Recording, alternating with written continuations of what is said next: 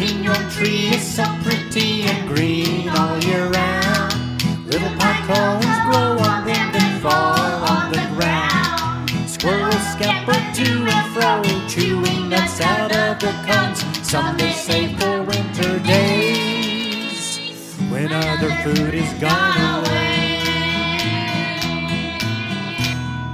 Pinon, pinon, green little pinon tree. Squirrel,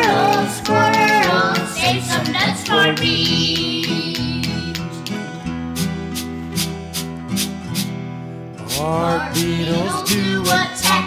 Pinyons are their favorite snack. Under bark they crawl and chew, choking out the pinon's food.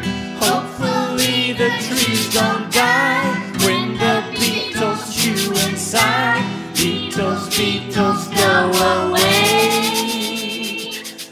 Let the pinyons grow today.